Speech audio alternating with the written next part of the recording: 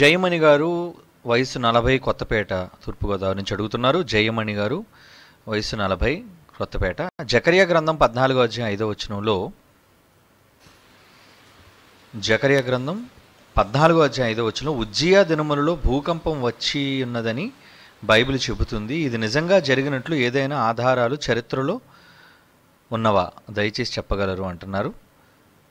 ఏమండి? జకరియా గ్రంథం పద్నాలుగో అధ్యాయం ఐదో వచనంలో ఏముందో ముందు చదువుదాం. జకరియా గ్రంథం పద్నాలుగు ఐదు.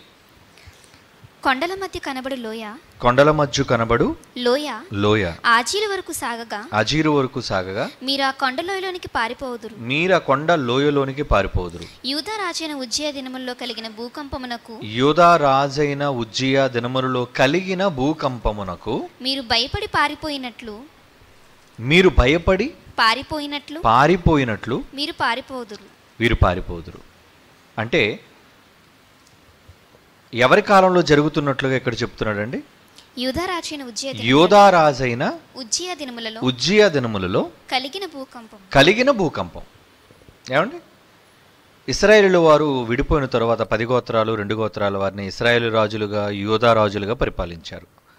అందులో ఉజ్జియా కాలంలో ఒక భయంకరమైన భూకంపం కలిగినట్లుగా చెబుతున్నారు.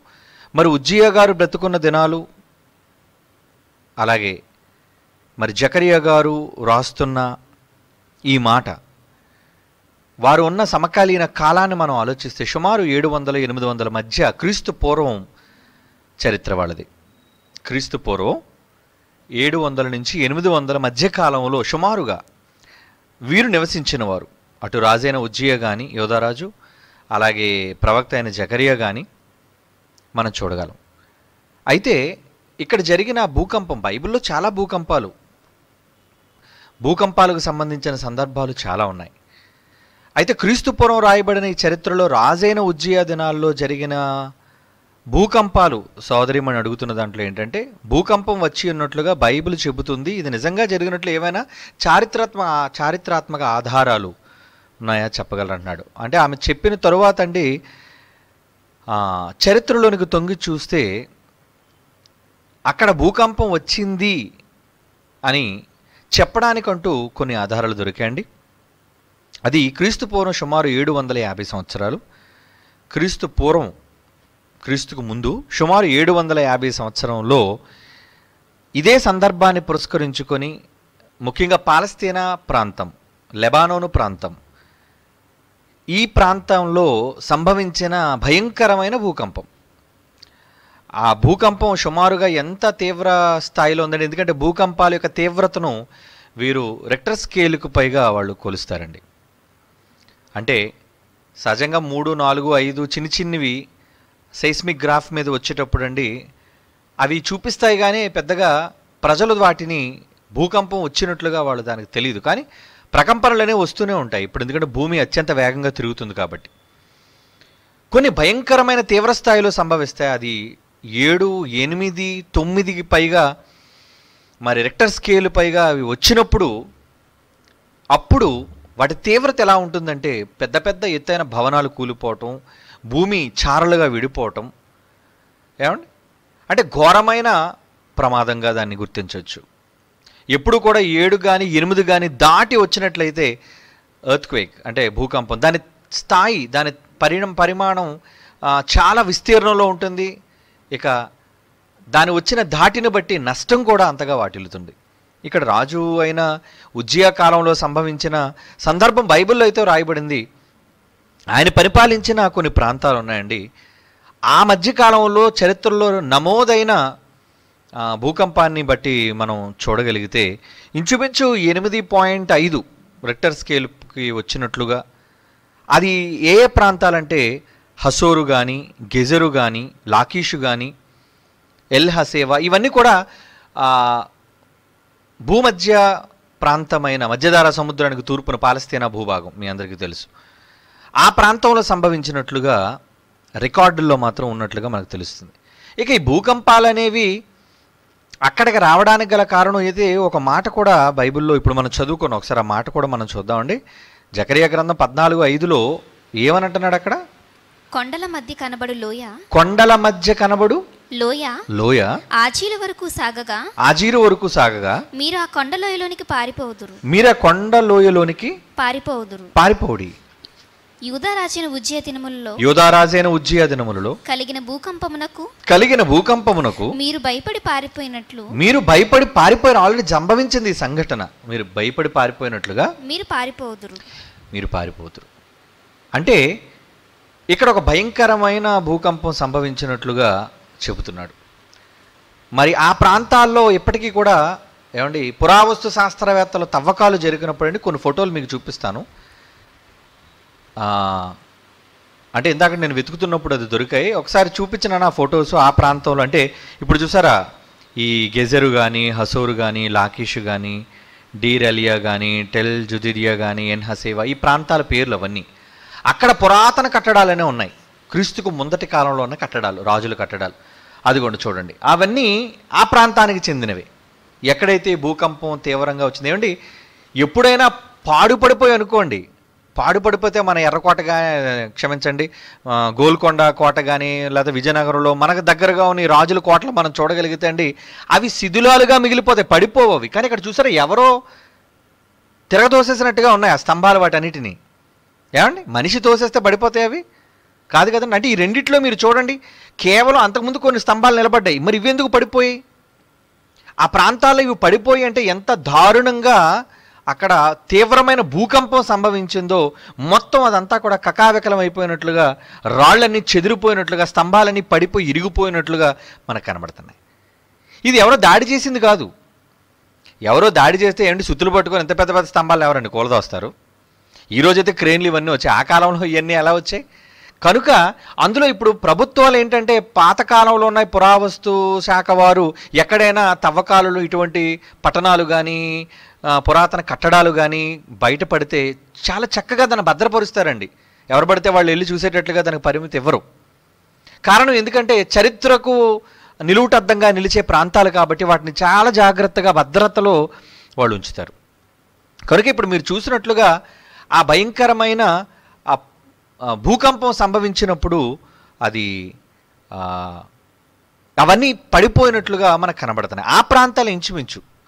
ఏమండి? మరి ఇవి ఎందుకు సంభవిస్తాయి అనేది బైబిల్ బట్టి మనకు చూస్తే అది దేవుని కోపం ఉగ్రత. అవునా? జరిగే భూకంపాలు చాలాసార్లు మీరు చదువుకున్నారు మన పాటల్లో కూడా మీరు విన్నారు. అది ప్రత్యేకంగా మీకు చెప్పి ఆ రెఫరెన్స్లన్నీ చూపించవలసిన పని లేదు. భూకంపం వచ్చినా పెను ప్రమాదం సంభవించినా అది దేవుని ఉగ్రత. దేవుడు ఉగ్రత కూడా రావడానికి కారణం దానికి ఒక సైంటిఫిక్ థియరీ అనేది ఉంటుంది ఎప్పుడు వెనకతల.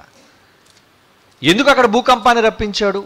ఈ భూకంపం వచ్చిన ప్రాంతంలో అది పాలస్తీనా పరిపాలన ఆధీనంలో ఉన్న ఆ ప్రాంతం అంతటిలో కూడా మరి భౌగోళికంగా మనం చూడగలిగితే ప్రియులారా భూమి కింద ఈ టెక్టానిక్ ప్లేట్స్ అని అంటారు వాటిని. అంటే ఇవి చాలా పెద్ద పెద్ద రాతి పలకలండి. చాలా పెద్ద రాతి పలకలు. ఆశ్చర్యం ఏంటో కానీ ఒక మాట చెప్పమంటారా? ఈ భూమంతా కూడా గుండ్రంగా ఉంటుంది కదండి. ఇవన్నీ పలకలతో కూడుకున్నవి. ఇవన్నీ పలకలు. అందులో అతిపెద్ద ముఖ్యమైన పలకలు ఏడే ఉన్నాయండి. మన ఖండాలు ఎలాగైతే ఏడు అనుకుంటున్నామో పలకలు కూడా మనకి ఏడు పలకలుగా మనకు కనబడుతుంది అంటే అతిపెద్ద పలకలు అనమాట కొన్ని వేల కిలోమీటర్లు మైళ్ళు విస్తీర్ణం కలిగిన పలకలు అవన్నీ కూడా. అంత పెద్ద పెద్ద పలకలు ముఖ్యంగా ఏడు పలకలుగా మనకు కనబడతాయి. చూడడానికి ఒకసారి ఆ బొమ్మ ఆ కలర్స్తో చూపిస్తుంది. ఇది టెక్టానిక్ ప్లేట్స్ అంటారండి. అంటే ఇక్కడ కొంచెం గీతలు కనబడుతున్నాయి అంటే ఇది మన మన మ్యాప్ భౌగోళికంగా ప్రపంచ మ్యాప్ ప్రపంచ పట్టం ఇది. ఇదిగోండి ఇండియా అయితే మనకి అక్కడ కనబడుతుంది చూడండి. ఆఫ్రికన్ ప్లేట్ అని యూరేషియన్ ప్లేట్ అని ఇండియన్ ప్లేట్ అని ఇలా మనకు కనబడుతున్నాయి. ప్రియులరా? కానీ ముఖ్యంగా ప్రధానమైన పెద్ద ప్లేట్లు మాత్రం ఏడుగా మాత్రం అవి దేవుడు నిర్మాణంలోనే చేశాడు. ఎందుకు ఆయన సంఖ్య ఎక్కువ ఏ- ఏడు ఇష్టం ఏంటో నాకు తెలియదు కానీ సంపూర్ణ సంఖ్య ఏడు అనుకుంటాడు కాబట్టి ఏడుగా వాటిని పెట్టినట్టుగా కనబడుతుంది. కొంచెం ఇంకో కొన్ని మల్టీ కలర్లో కనబడుతుంది చూడన్నాను మరొకటి. ఓకే. ఇది చూడండి ఇది మీకు అర్థం అవుతుంది ఇవి ముఖ్యమైన ఏడు భాగాలండి. అదిగోండి మేజర్ ప్లేట్స్ అని ఎన్ని ఉన్నాయి చూడండి? మొదటిది ఐ అని కనబడుతుంది ఐ ఎక్కడ ఉందో చూడండి అదిగోండి అక్కడ. African plate.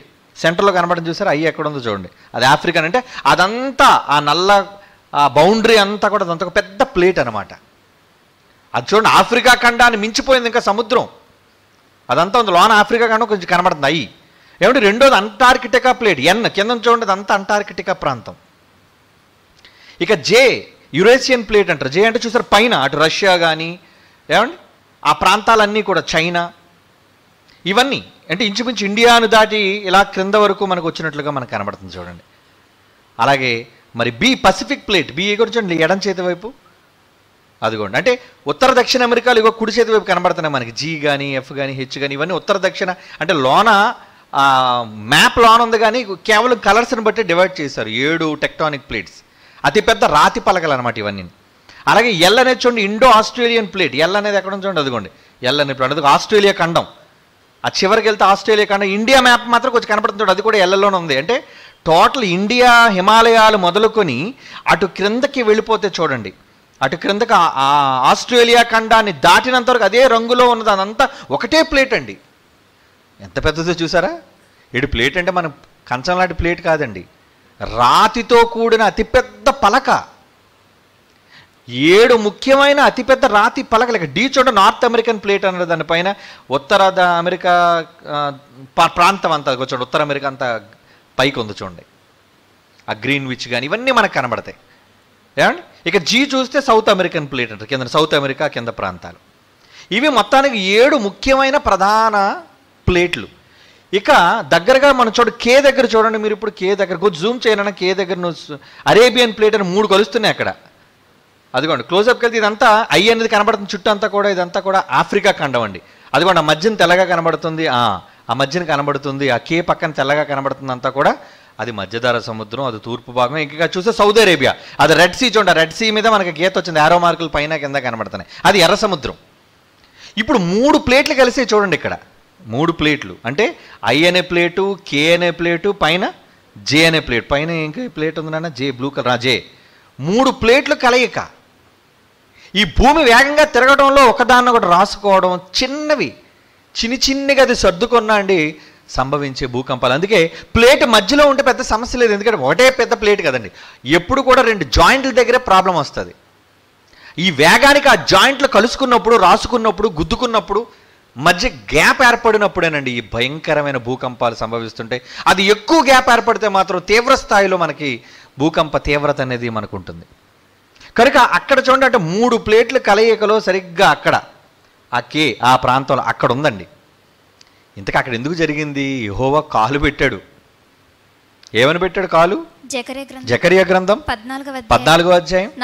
నాలుగో వచ్చిన చూడండి ఐదో వచ్చిన చదివారు కదా ఇప్పుడు. ఎందుకు ఎందుకు ఆ భూకంపం సంభవించిందంటే ఒక మాట చెప్తున్నాడు చూడండి. నాలుగో వచ్చిన ఆ దినమున ఆ దినమున ఎరుషలేము ఎదుట ఎరుషలేము ఎదుట తూర్పు తట్టునున్న ఒలివ కొండ మీద తూర్పు తట్టునున్న ఎరుషలేముకు తూర్పు తట్టునున్న ఒలివ? కొండ మీద కొండ మీద. ఆయన పాదములుంచ పాదములుంచెను. ఒలివి కొండ తూర్పు తట్టుకును. ఒలివ కొండ తూర్పు తట్టుకి. పడమటి తట్టునకును. పడమటి తట్టునకు. నడుముకి విడిపోయి విరిగిపోయి. నడిమికి విడిపోయి. విడిపోయి. సగము కొండ ఉత్తరపు తట్టునకును. సగం కొండ ఉత్తరపు తట్టు. సగము కొండ దక్షిణపు దక్షిణపు తట్టు. తట్టు జరుగును. జరిగిపోతుంది. గనుక గనుక విశాలమైన లోయ ఒకటి విశాలమైన లోయ ఏర్పడుతుంది అంటున్నాడు. అంటే ఎప్పుడు కూడా భూకంపాల వలన ఈ దూరాలు పెరగటం వలన లోయలు అనేవి ఏర్పడడం ఇవన్నీ జరుగుతుంటుంది. కనుక ఆ పై మాట అది చెప్పి కింద ఐదో వచ్చిన అంటున్నాడు ఏమని? నా ఉగ్రత. నేను అక్కడ నేను కాలు మోపుతున్నాను. నా కోపాగ్ని వాళ్ళ మీద ఉంచుతున్నాను. అదే ఐదో వచ్చిలో మన చేత ఉద్యా దినాల్లో భూకంపం సంభవించినది ఆ సంఘటన? కనుక ప్రియులారా అంటే దేవుడు కాలు మోపటం వల్ల ఇవన్నీ సంభవిస్తారంటే అవును దేవుడు ఉగ్రత. ఎందుకు తొక్కేస్తున్నాడు అక్కడ? ఎందుకు అక్కడ కాలు పెట్టాడు? కోపం ఉగ్రత. కనుక ఈ భూమి భూమి మీద సంభవించే ఈ పెను ప్రమాదాలన్నిటి వెనుక దేవుని హస్తం ఖచ్చితంగా ఉంది. నూటికి నూరు శాతం. అయితే చరిత్రలో ఉజ్జయాదనంలో సంభవించినట్లుగా ఉందా అంటే ఇప్పుడు మీరు చూసినట్లుగా అదిగోండి ఆ మూడు టెక్టానిక్ ప్లేట్లు అందులో మేజర్ ప్లేట్లు మైనర్ ప్లేట్లు చిన్న చిన్న ఉన్నాయి. ఏమండి? ఇదిగోండి ఈ మూడు ప్లేట్ల కలయిక దగ్గర సరిగ్గా ఏర్పడింది. ఆ భూభాగంలోనే. అంటే కథలకి ఏర్పాటు చేశారు అనమాట అక్కడే దేవుడు. సహజంగా వీళ్ళు కూడా ఏమని చెప్తారో తెలుసండి? ఈ భూకంపాలు జరగడానికి ఇదిగోండి ఈ ప్లేట్లే కారణం అని చెప్తారు. కదలికలు. అంటే భూమి యొక్క అడుగు భాగాలు ఆ పైన అయితే పట్టణాలు కనబడుతున్నాయి. కానీ ఆ లోపల భాగాలకు వెళ్ళిపోతే ఆ లోన ఉన్న పట్టణాలు మనకి బయట పట్టణాలు కనబడ లోన ఆ పలకలు రాతి పలకలు మనకి కనబడుతున్నాయండి. ఈ రాతి పలకలు దేవుడు సర్దుకునేటట్టు చేశాడు. అంటే దేవుడే కాలు పెడితే భూమి ఉంటుందా? ఏమంటే గట్టిగా మనం కాలుతో అది మనం అనుకోండి దేన్నైనా సరే. పలచగా ఉన్నప్పుడు కింద ఉన్నవన్నీ పగిలిపోతాయి. కనుక ఎప్పుడైతే అక్కడ అడుగు పెట్టాడో అడుగు పెట్టడం వల్ల ఆ ప్రాంతం అంతా ఎలాంటిది మూడు ప్లేట్లు టెక్టానిక్ ప్లేట్లు కలిసి ఉన్నది. ఏమంటే తెలుగులో టెక్టానిక్ ప్లేట్లు ఏమంటారో నాకు తెలియదు కానీ మొత్తానికి ఆ- ఆ కదలిక అనేది అక్కడ సంభవించింది చూడండి. సంభవించడంలో భూకంపం. నాలుగో వచనంలో కాలు పెట్టాను అన్నాడు. ఐదో వచనంలో భూకంపం పెద్ద భూకంపం సంభవించింది అంటున్నాడు. కనుక చరిత్రలో నమోదైందంటే ఈ రోజుకి శిథిలాలుగా పురావస్తు శాస్త్రవేత్తలు తవ్వకాలు అవి బయటపడి వాటిని డేటింగ్ ప్రకారంగా చూసినప్పుడు అవి క్రీస్తుపూర్వం ఏడు వందలు యాభైలో సంభవించినట్లుగా మనకు తెలుస్తుంది. అంటే అది ఉజ్జియా యోధావారిని పరిపాలిస్తున్న కాలం. అప్పుడు సంభవించింది అబ్బో తిరిగిపోయి తిరగబడిపోయినట్లుగా ఉన్నాయి అవన్నీ. కనుక చరిత్రలో బైబిల్లో చెప్పబడిన దానికి ఆధారాలు ఉన్నాయా చరిత్ర భూకంపాల్లో? చరిత్రలో చాలా భూకంపాలు నమోదయ్యాయి. ఇందుకే బైబిల్లో చెప్పబడిన చరిత్ర ప్రకారంగా దేవుడు రాయించిన భయంకరమైన భూకంపం గురించి చరిత్రలో రాయబడిందంటే ఆ సంఘటన స్థలాలు ఇప్పుడు మీరు చూశారు. ఏమండి? ఆ సంఘటన స్థలాలు చూసారా? చూశారు. అక్కడ పడిపోయిన శిథిలాలు మీరు చూశారు. ఇక అది ఎప్పటి కాలానిదని మనం ఆలోచించగలిగితే అది రాజైన ఉజ్జీయ కాలంలో యోధా రాజులు పరిపాలిస్తున్న ఉజ్జీయ కాలంలో సంభవించినట్లుగా మనకు తెలుస్తుంది. కనుక అమ్మ బైబిల్లో రాయబడిన అలాగని అన్ని సందర్భాలకి ఉండాలని కాదు. ఏమండి? ఏం ఒక్కదానికి ఆధారం ఉంటే సరిపోదా? చాలు. కనుక బైబిల్ చారిత్రాత్మక గ్రంథం అని చెప్పడానికి బైబిల్లో రాయబడిన జకరియా గ్రంథం పద్నాలుగు వచ్చి ఐదో వచనంలో చారిత్రాత్మకంగా ఆధారాలు ఉన్నాయని మీరు తెలుసుకోండి. కనుక బైబిల్ చాలా గొప్ప దైవ గ్రంథం అని మీరు నమ్మండి ప్రియులారా. ఓకే?